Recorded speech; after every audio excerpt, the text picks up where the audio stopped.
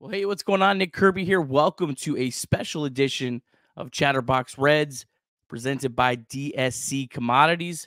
Coming up in just a minute, myself and Craig Sandlin, we talked with Jacob Hurtubise, player just added to the Reds 40 man roster, has a really cool story uh, coming from Army, where he went to college, uh, being an undrafted uh, signing of the Reds and uh, making it all the way up to AAA and having a ton of success last season.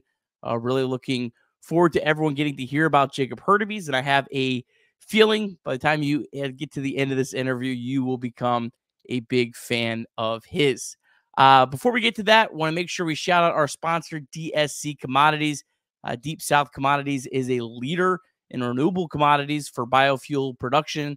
They specialize in used cooking oil collection, aggregation, and sales. Uh, visit www www.deepsouthcommodities.com for more information. Uh, thanks so much to John and everyone at DSC Commodities uh, for making everything we do here at Chatterbox Reds possible. Uh, quick housekeeping before we get to this interview. Uh, we will be looking to do probably a live show next um, Monday night. Uh, I've got a couple guys that I want to bring on and do like a panel type show, uh, go through some of the Red ZiPS predictions and do some over under. so look for that probably on Monday night and then Tuesday morning in your uh, podcast feed. Of course, uh, at Nicholas P. Kirby on Twitter. I'll keep you updated whenever we do uh, live shows. Of course, subscribe to Chatterbox Sports on YouTube. Hit that bell in the top right corner and turn on notifications so you are always notified. All right. Without further ado, here is our interview with Jacob Hurtubise. All right. We are joined now by Jacob Hurtubise, newest addition to the Reds 40 uh, man roster this offseason. Jacob, how you doing? Uh, how exciting was it to get uh, added to the 40 man just a few weeks ago? You know, this this whole year has kind of been a, a surreal experience. Um, and getting added to the 40 man was just kind of the cherry on top of everything that happened for me this year. Um, you know, kind of the story for me is going into the season, I, I didn't know what my expectations were. Um, the 22 season uh, was kind of plagued by injuries um, plagued by a lack of playing time. Um, and I just didn't know, you know, sort of what my future was going to be in professional baseball. Um, and to have the season end the way that it did, uh, being invited to the Arizona Fall League, winning a championship there. Um, and then obviously right after the fall league ended, I, I got the call to be on the 40 man. Um, you know, things just kind of clicked for me. And, um, you know, it, it, was just an awesome season. What did that process look like for you getting called up uh, to the 40 man? Did you get a call from your agent? Did you get a call from the Reds directly? Kind of talk us through that communication for those of us that aren't familiar. I ended up getting a couple of phone calls. Um, I got a phone call from uh, Shawn Pender, who is Reds farm director, I believe. Um, and then uh, from at the time GM Nick Krall. Um, both of those guys gave me a call just uh, wanting to congratulate me. I think Nick Krall gave me the phone call first um, and just congratulating me, telling me that, you know, I really earned this opportunity and um, that they're excited to, to have me as a part of the 40 man um, and see what I can do, um, hopefully this upcoming year to contribute to a couple of uh, Reds wins. So Jacob, uh, take us back a little bit because you have one of the the cooler stories uh, of anyone who's on on the cusp of of uh, maybe making a major league debut soon. So you played at Army. What was that like uh, playing baseball while also uh, you know dealing with the the uh, duties of being in a military school? Yeah, um, going to West Point was one of the greatest privileges that I've had. Um, kind of kind of similar story. I had no intentions of being in the military uh, coming out of high school. Um, I had nobody in my family who had served. Uh, West Point, Naval Academy, Air Force. They were all kind of off my radar. I didn't I didn't really or I wasn't searching for an opportunity like that. Um, and then I get a phone call from the West Point head coach at the time, and um, you know, he he kind of just gave me the invitation of coming to the academy, wanting to check it out, um, and you know, going through high school. Never thought I would be at an academy, like I said. Um, and once I got to West Point, uh, I absolutely loved it. I loved the structure of it. I loved um, the rigor, the challenge. Um, and what I really think has helped me throughout my professional career so far is the discipline and um, just the challenging times that I had while I was at West Point, um, and what it takes to be a uh, a cadet and a student there. Um, you know, I learned perseverance. I learned ha- uh, hard work, uh, work ethic, um, time management. So many different things that now I'm able to carry forward into my professional career um, with the with the Cincinnati Reds. Yeah, that's awesome. And and obviously there was a recent change that allowed you to pursue professional sports that previously you may not have. Um, but after baseball's done for you, there will be a five year commitment to service. Can you talk about your role with the Army after baseball, at least as much as you're able to? Second lieutenant in air defense. Uh, what does that mean? What kind of role do you take with the Army after baseball? The the cool thing about the position that I'm in is I'm I'm sort of trailblazing the path for um, people from the academies coming after me. Um, I'm the first professional baseball player under this new policy that was implemented by President Trump back in 2019. Um, I graduated in 2020, um, and I don't necessarily know what my time in the Army is going to look like. Um, I know that I have some form of service, um, whether that's in air defense, whether that's helping in some other uh, federal capacity. Um, I'm, I'm, completely unsure. Um, I, I, have no one to look, you know, nobody to look ahead to uh, to see what's going to happen. Um, there are a couple of other athletes in different sports. We I think we have three or four football players um, playing in the NFL right now. So kind of just depends on who finishes their career first for us to be able to see uh, what that really is going to look like. Um, all I can say is that I know that whenever the time comes, I'm I'm going to um, be excited to serve and um, you know do it with all my heart. So you're coming off an incredible season uh, at Chattanooga. You had a uh, 453 on base percentage. You get called up to Louisville, and you have an unbelievable 537 on base percentage. What what do you do that allows you to be so elite, like put up video game numbers um, at, at getting on base? well, for one, I think that the the strike zone, the automated strike zone in AAA, really helped me. Um, I, I didn't realize how small my strike zone was going to be uh, up in AAA with the with that automated strike zone. Um, so that definitely helped. Uh, there were a couple times where um, there would be called balls where I I thought it was going to be a strike, um, but just kind of working with that new system, I was able to learn and adapt what my strike zone was um, up there with ABS, and um, you know, I think I've always just had a, a, really good eye at the plate. I, I know what pitches I can do damage with. Um, and I have a pretty good knack at swinging at the pitches that I want to swing at. And if, if it's not a pitch that I think I can do damage with, um, usually, you know, baseball is not not always the easiest where I can control which pitches I'm going to actually swing at. But um, usually I'm able to to pick out the good ones and um, put a good swing on the baseball. And that's been kind of your approach for a while now. I read in an article that one of the reasons that you chose to sign with the Reds was that their motto was do damage or take the walk, right? Mm-hmm. And so how far back does that approach for you go? Um, you know, growing up in Indiana, were there people that you looked up to uh, professionally that took that same uh, approach at the plate that you modeled yourself after, or where does that come from? Uh, kind of comes from my lack of power. um, you know, if I'm if I'm not getting on base, I am I'm not doing my my job. Um, and so, you know, growing up, um, I've always had to get on base to do the most damage uh, as a player. Um, that's why I get hit by a lot of pitches. That's why I take a lot of walks, is because you know, I'm I'm not necessarily gonna be getting, you know, 50 doubles in a season. Um, but if I can increase my singles, quote unquote, by getting a walk or getting hit by a pitch and getting on base, um, I'm able to use my speed in a way where it, it looks like I'm hitting doubles and hitting triples because I'm able to steal bases.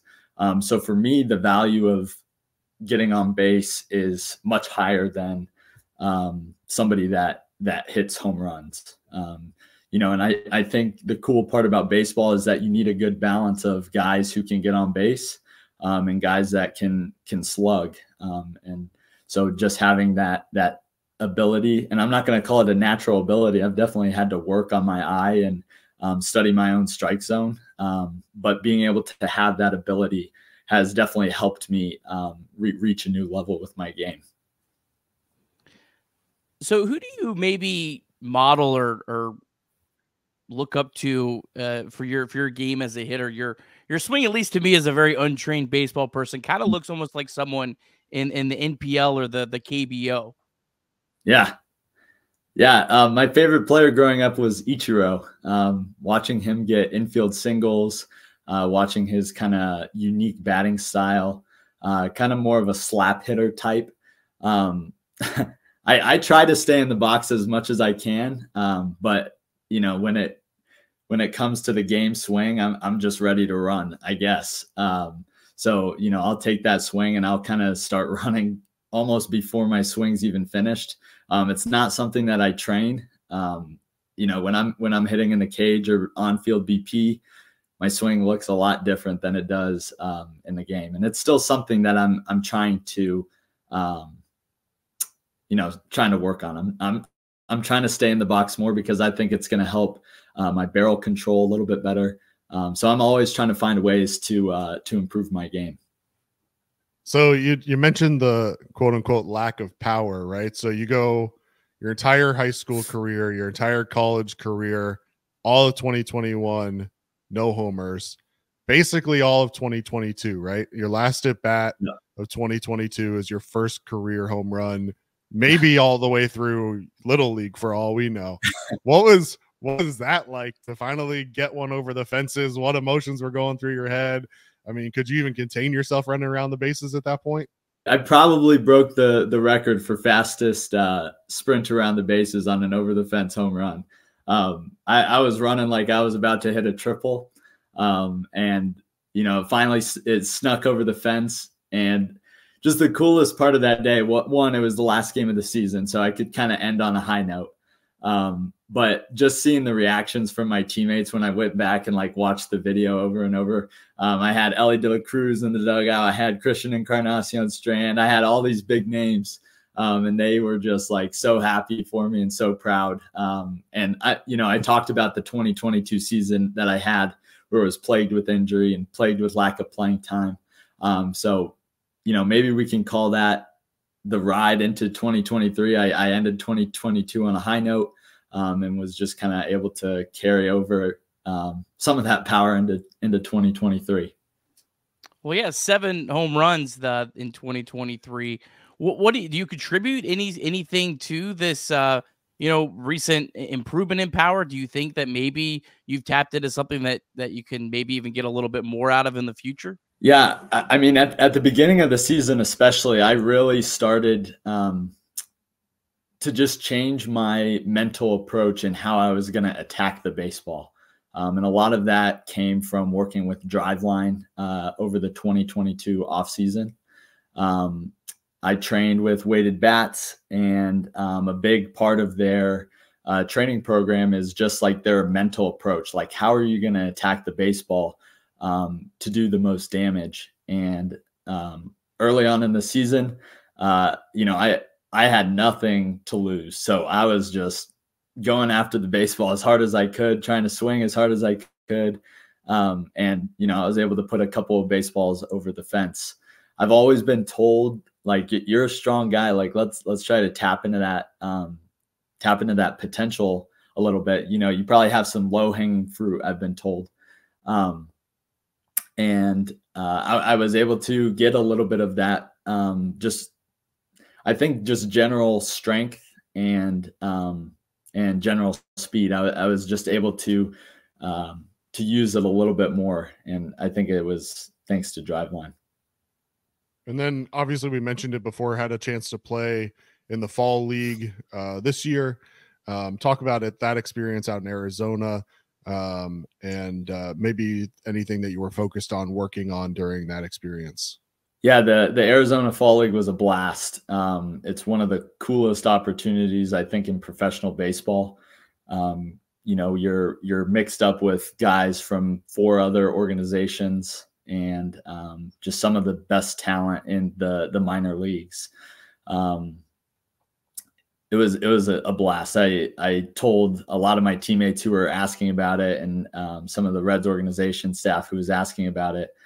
Um, I, I, told them it was probably the most fun baseball that I've played in in my life. It was just super relaxed.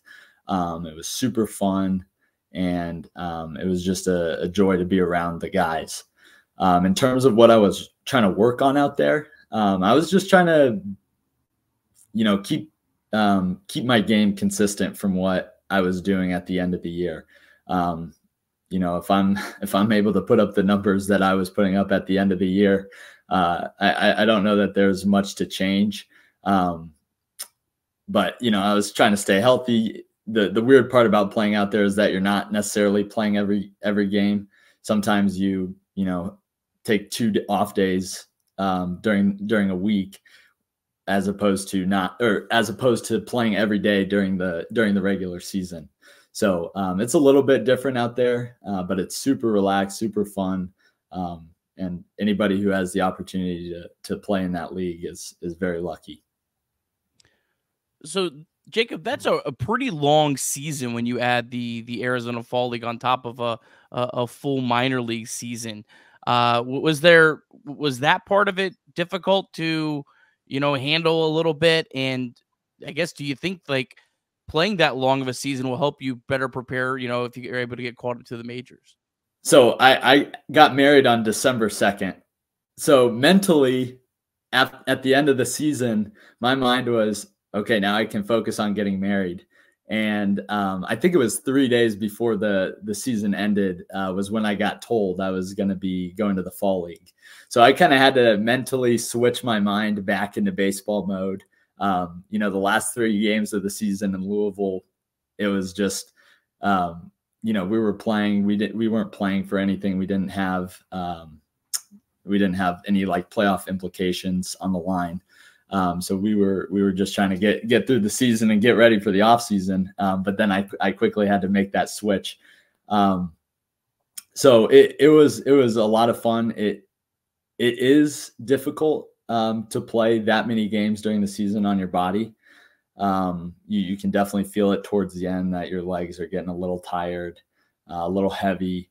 Um, but you know, it, it was great experience for me to play that many games because, you know, hopefully I'm, I'm playing that long um, up in the big leagues in the future. So um, definitely a, a good experience.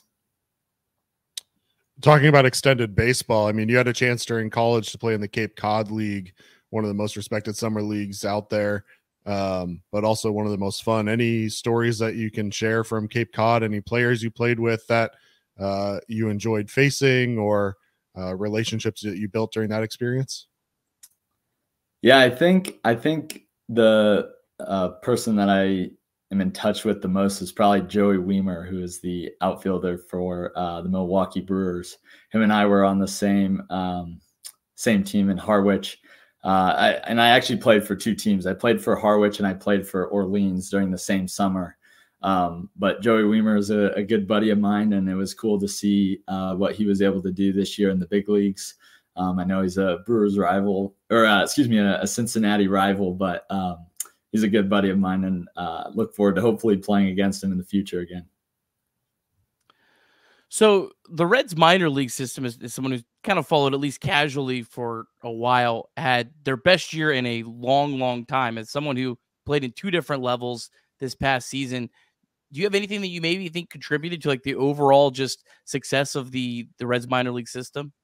I, I think that the the um, the Reds have done a fantastic job. The front office has done a f- fantastic job um, just with their draft and their player development over the last couple of years. Um, you know, when I when I came into the organization in 2020, um, we have a completely different staff than we did back then. So um, just getting to work with new coaches, um, see from different uh, uh, perspectives has been a big um, a big factor, and I, I just think that um, the Reds have a lot of confidence in their players, um, and we're young. Uh, we we have a lot of talent, and I think sometimes the younger teams put have less pressure on themselves, um, just because the expectations maybe aren't as high. Um, I think that as we get more experience at the at the next level, at the big league level, um, you know, once we start to get some of that playoff experience, because I, I, think the Reds are definitely a team that, that are going to make it here in the next couple years. Um, you know, those expectations are going to start to lift. And um, hopefully we can just continue to play with that same, you know, that same swagger and um, play with that same young energy. And Jacob, you're obviously, uh, you know, with all due respect, a somewhat untraditional uh, prospect in terms of the baseball world, at least, where a lot of times guys are or blogs or whatever are focusing a lot on the 18, 19, 20 year olds. Um, with your background, having gone to Army, being a little bit older, um, how do you take that experience and become a leader on a squad um, that is full of a lot of those 18, 19, 20 year old guys? Yeah, absolutely. Um, I've I've been lucky to play on a lot of teams with a lot of great leaders. Um, you know, coming from West Point, um, and just even growing through the through the minor league system, I, I had a ton of people who I looked up to. Um, and now, as I get ready to maybe jump into more of a leadership type role, um, you know, considering my age, I don't like to think that I'm too old, but um, I know that, like you said, in terms of prospect status, um, I I might be considered old. Um, but I'm excited for every opportunity to lead and um, just I I think the the biggest thing to remember when playing this game and when like giving advice to young players is that it's such a long season. Um, you you have gotten to the point in your career for a reason, um, and just learning to trust in yourself as a player and as a person. Um, I, I, don't think that pressing to do more um, is going to do any good. Um, but just relaxing, going out there, having fun. Um, that that's what this game is all about. I think that's what the fans enjoy to watch. Um, you know, they they don't like to see the guys who, you know, are are super stressed about the game. You know, that they, they just want to see um, teams out there having fun. And you know, I think when uh, when you see the Reds when they when they win a win a game, um, you can see kind of how that that fun, loose energy um, is displayed out there on a, on the field. All right, so it's definitely a mistake that we've gone over 20 minutes and haven't asked you about your speed, which is such a a big part of your game. Uh, 100 career stolen bases and just over a thousand plate appearances. What do you just contribute your your ability to steal bases? Has some of the rule changes, uh, like the bigger bases, the uh, uh, pickoff limit, that kind of stuff really um, helped you. And and the Reds seem like it's such an emphasis in the organization as all, just uh, even leading up to the major leagues at this point. Having speed in general helps steal bases, um, and then with the addition of the recent rule changes, um, that that helps even more. Uh, knowing that the pitcher has a limited number of attempts to come over, um, you can start to anticipate a little bit better. Um, whether or not the the pitcher is going to uh, break for home or whether or not he's going to pick off. Um, and you know, once he uses one of them, sometimes you you can tell the pitchers that are kind of aggressive early and want to use all their picks um, early in the count. And then you ha- you know the guys that uh, have the tendency to um, not not even pick off at all. So that comes from a lot of scouting um, and uh, I think just general anticipation um, and picking up tendencies while in the dugout and while on the bases uh, helps to to steal a lot of those bases. And along the same lines, because of your speed, you mentioned it earlier. Basically, a walk is a is a single, right? So, um, you know, in 2023, 101 free bases, if my math is correct, 77 walks and 24 hit by pitches. First of all, that's a lot of hit by pitches. So I hope mm-hmm. that uh, the bruises are healing up and everything. But um, you know, you mentioned the ABS, which quite frankly, I think sooner or later may make its way to the major leagues anyway. Um, talk about just free bases in general and and how those play into your game. You mentioned not having the power, so maybe those free bases are you know an easy way to get on base and create havoc. You know, walks, hit by pitches. Uh, I even get the occasional catcher's interference. Um, though those are all ways for me to do my job. You know, either as a leadoff hitter or as a nine hole hitter. I think that's kind of where my game plays the best. Um, you know, if I'm able to be a table setter and um, give guys opportunities behind me to drive in runs to to have those RBI opportunities. Um, that that's just going to be where I help the team the most. Um, you know, I, I, my RBI numbers aren't super high, but my runs scored are. Um, and you, like I said earlier, you have to have both um, on a team. You can't just have guys that hit RBIs because if if you don't have guys that are scoring runs, you don't have the the guys that are getting those RBIs. So it kind of plays hand in hand, and um, you know, getting Walker, getting walked or getting hit by a pitch are are just two of the ways that I can um, try to help the team win. Doesn't it doesn't always have to be pretty. yeah, and I mean to that point, um, in 2023, you scored 102 runs on 214 on base appearances essentially. So if you get on base, you're scoring essentially half the time, um, mm-hmm. basically through stolen bases and the guys behind you. So um, an incredible tool that you have. Yeah, um, I, I, try to use it as much to the to my advantage as I can, and um, it's just one of the ways to help the team win. Let's talk about defense a little bit. Uh, so so far in your minor league career, you played more in the the corners, left and right field, um, the, but a little bit of center. And I know in college you played almost exclusively at center field. Uh, do you have a position you feel more comfortable at in the outfield, or you just wherever they'll stick me, I'll play and, and try to make plays defensively and use my speed? Yeah, that that last part is exactly it. Wherever I can um, play and play on the field uh, is where I want to be. Um, I had a little bit of difficulty adjusting to left and right um, immediately after getting uh, signed.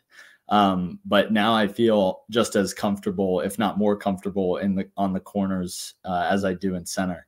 Um, you know, playing outfield I think is a ton of fun, and so as long as I'm out there, I'm I'm gonna enjoy it.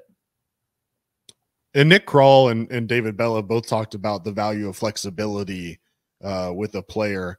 I, I, you know, we touched on being added to the 40 man earlier, but um, what are your expectations for 2024? Um, can we expect to see you on the big league in the big leagues at some point? Do you think? What communication, if any, have, has happened in regards to the plans for this year? Yeah, I mean, there there's not really been much communication from anybody higher up. Um, you know, the expectation is just to go into spring training, and I'm obviously going to be competing for a spot. Um, just in this game, you never know what's going to happen with injuries, um, with how players are going to end up performing. Um, so the only thing that I can do is go in there and just focus on being the best version of me. Um, and you know wherever that takes takes me this year um, is, is, where it's going to end up. So um, obviously looking forward to going into my first big league spring training, um, being around those guys, getting to learn a little bit more about some of them, and also just catching up with some of the guys that I've played with in the past. So, Jacob, I want to ask you about uh, TJ Friedl. Um, he's kind of a guy that just came through the reservation a little bit ahead of you. Uh, that wasn't a super high prospect, but has burst onto the major league scene last year. Was a four win player. If you you like wins above replacement, really proved a lot of the the doubters wrong. That does a player like him kind of maybe give you a little extra confidence that that yeah, I can kind of follow that that same type of mold?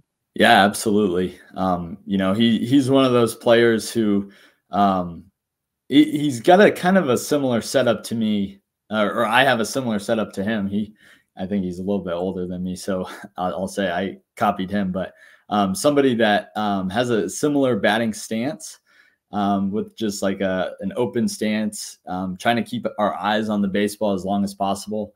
Um, but he's definitely somebody that uh, from afar so far I've been able to kind of look up to and um, model my game after, and also just see that you know there there is hope for a, a player like me. Um, we're we're definitely different in in some ways, um, but I'm excited to go into spring training and learn a lot from him. Um, just as a as a player, as a defender, um, as a bunter, he's he's got a really good bunt tool. Um, so I'm just excited to be around um, guys like that uh, who are excited, who are hungry, and um, just want to compete to win. I mean, bunting is a big part of your arsenal as well. Um, I, I, saw in an article, um, I think it was actually an opposing coach that now works for the Reds, uh, who mentioned your bunting ability uh, even in college. So how much are you working on that? How do you, how much pride do you take in your ability? Again, it goes to getting on base, which we've talked about at length, but um, since you brought it up, kind of talk about bunting and where it fits into your game. Yeah, it, it's just another one of those tools to have in the toolkit. Um, you know, when you're up at the up at the plate, you're trying to find the best way to get on base. Um, sometimes bunting isn't always the best option um, given a situation. Uh, sometimes the game calls for you to uh, take a swing, try to drive a runner in. Um, but other times, um, you know, especially with power or lack of power, um, you have to be able to get runners over. You have to play small ball. Um, and that that's just been a part of my game for as long as I can remember. So um, I definitely take great pride in it. I think it's you know it, it's a situational thing where um, you know, maybe there's an opportunity to get into a game or to get called up um, for a situation where uh, a bunt needs to be put down. Um, and so you just always have to be ready for those opportunities. And, um, you know, I'm, I'm obviously working on it still in the off season and hopefully can showcase those, those tools in a game this year. I, I'm I'm an optimistic guy. I think by the end of 2024, we're not going to be talking about this lack of power. I think you got a little bit more that you're gonna you're gonna tap you're gonna tap into it. this year. I appreciate uh, it. so I want to ask you. Uh, you played at three different levels with the Reds: uh, Dayton, Chattanooga, and Louisville. Uh, any any of those levels kind of stand out to you? Any you know coaches that have really made a big impact on you, kind of as you've kind of gone through the Reds minor league system? Yeah, I uh, you know, I've gotten to play for uh, Jose Moreno my first three years um, with the Reds. 2021, he was in Dayton. 2022, he was the manager of Chattanooga. And then again in 2023, he was also in Chattanooga. So, um, you know, I, I think it really helped to have played for the same manager for three straight seasons. Um, just knowing what his expectations were going to be um, for you as a player, for you as a person as a teammate. Um, so, you know, I, have had a, a, lot of different people who have made an impact on me um, in some form or another. Pretty much every coach um, has just been a joy to be around, um, to work with, and uh, you know, I, I, just I can't wait to hopefully meet meet more people and um, just learn from uh, those guys as I continue to climb uh, climb the ladder. Jacob, you mentioned getting married uh, this December. Uh, I saw on social media and otherwise that faith plays a big part in your relationship with your wife and, and her future. Um, kind of talk about how faith plays into uh, your role as an athlete and, and in your life overall. Faith is a big part of so many different aspects of um, of my life. It, it plays a role in uh, my marriage. It plays a role in um, my game and um, you know I'm I'm definitely not where I am today without um, Jesus Christ who uh, as my Lord and Savior. I've, I've been watching a lot of uh, CJ Stroud videos recently and uh, how he does that at the end of every interview, um, or maybe at the beginning of every interview. So um, it's pretty cool to look up to somebody like him.